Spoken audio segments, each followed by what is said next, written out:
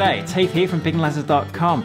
We're going to learn a bunch of bluegrass licks in this guitar lesson. The example we just heard there is using some of those licks all put together in an example solo. We're going to look at several licks over the key of G of varying lengths, two bars, one bar, uh, three bars, four bars. We're going to take a look at some licks that move from a C chord into the G and also the D chord moving back into G as well.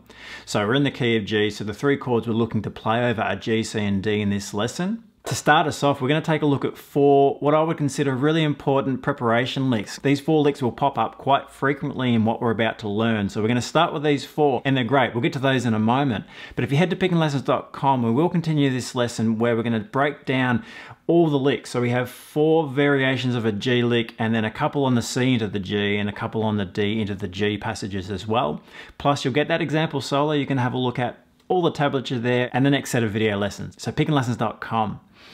Okay, so let's start out here in this lesson just having a look at these four preparation licks. Now the first one is just your standard G run.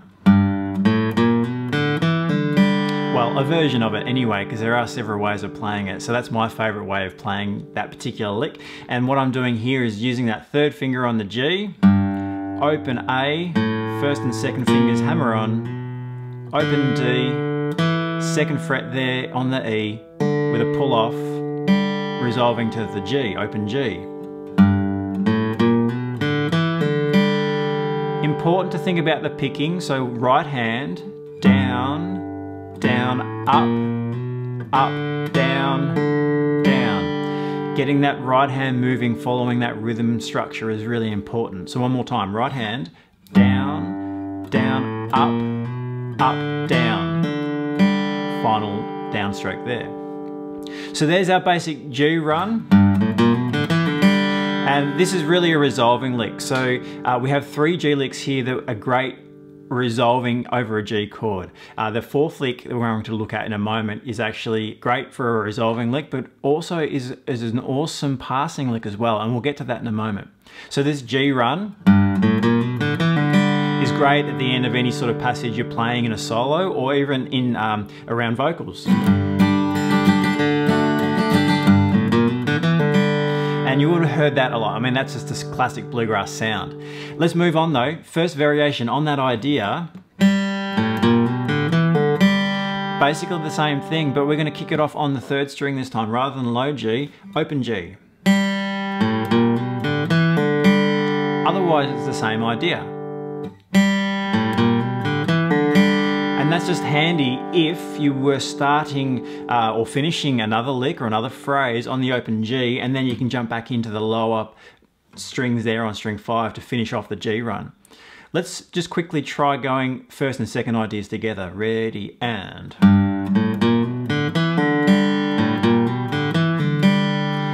And that's one thing that you can start doing with your practice is starting to bring these licks together, even these short one measure licks we're learning now.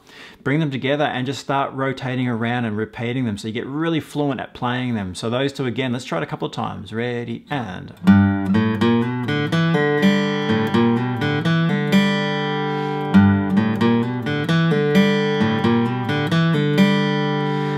There's those two ideas, they're great. Now they're great for resolving, so you come back to the G chord and you can play that lick. Uh, the third lick is very similar in terms of how we can use that resolving over a G chord. This one we're moving to the highest strings here, the treble strings.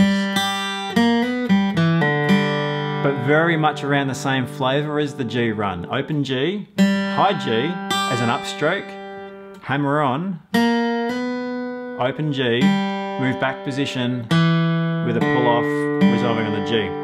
Now the picking hand for this lick, down, up, up, up, down, down. So it's quite syncopated in where our accents are, our picking is.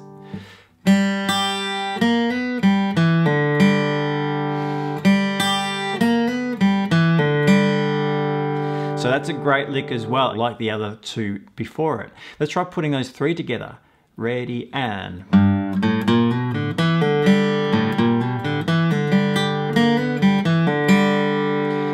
Nice way of starting to practice, really becoming fluent with these so that you're not even thinking about how to play them, you can just jump straight into them. This is a really cool idea. Uh, Bluegrass has a very particular sound in, in the lead playing on guitar, as do a lot of genres. So it's really nice to have some ideas. Once you get these ideas under your fingers, you can start to tweak them and start to do your own thing with them as well, of course.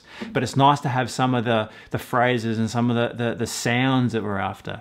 All right, let's look at this fourth lick here. Now this fourth lick is great for a resolving lick like the other three, but could also be used as a passing lick. So for example, playing over a C chord, we can use this as the bridge over the C as we're going back to G, or from a D, then this lick as a bridge back to the G. And we'll look at how we can do that later on this lesson. But the lick itself, we're hammering on there from that second to third fret, so the A into the B flat, and we're playing that very quickly. It's a grace note hammer on, so one and two and three and four, one. Picking hand, So the hammer on is quite quick, it's a grace note. The A isn't really being heard, but we're hearing that flavor of the hammer on to get to the B flat. And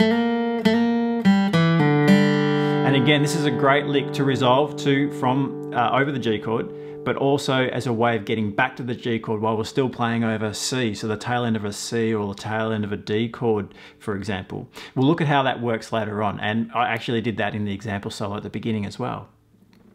Let's try putting these four licks together a couple of times. Again, just piecing them together, not really thinking about what we're doing with some practice. Here we go, from the top. Ready, and...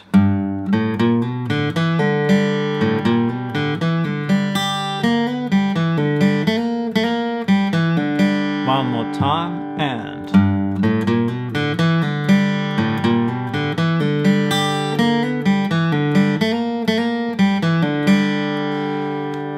So four great licks.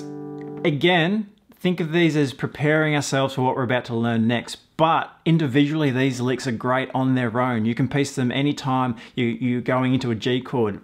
Great for resolving, but just great in general over a G. So you could kick off a solo with um, lick number four, for example if it was appropriate for what you're playing. We're not really touching on how to fit these in around a melody, in time, as you get to know these licks, you'll find that some of them gravitate towards certain melodies, uh, depending on how we're starting the licks or how we're finishing it and so on. But we're just learning these licks. We're just having a bit of fun, getting the bluegrass sounds. And that's a really important thing if you want to get into playing uh, lead in a bluegrass style and any genre. It's really nice to start to learn how you get these sounds and how we generate them. So these are great, these four licks. Now, if you head to pickinlessons.com, we're gonna continue this lesson. We have four G licks we're gonna learn of varying lengths, two bars, three bars, four bars, and so on. We have two variations of a C chord for two measures into a G. And then the same again, C into G for, for two measures on the C. So looking at how we can go from C back to G, because in a key of G, you're gonna find that that's happening a lot. Uh, and also the same idea for the key of D. So a couple of measures on D, resolving back to G. And we'll have a look at two variations for that. You'll also be able to learn that example solo that I used at the beginning where I took these ideas that we're about to learn and piece them together. And we'll talk about how we can do that as part of this lesson. So pickinlessons.com, I'll see you there.